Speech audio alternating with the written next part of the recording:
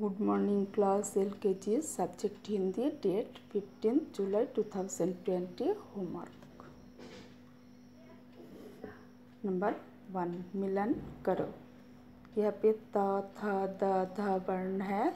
यहाँ पे शब्द क्या है? धनुष, दवात, तरबूज, थर्मस। तो हमको क्या करना है? मैचिंग करना है। हैं तो त से तरबूज ध से थर्मस द से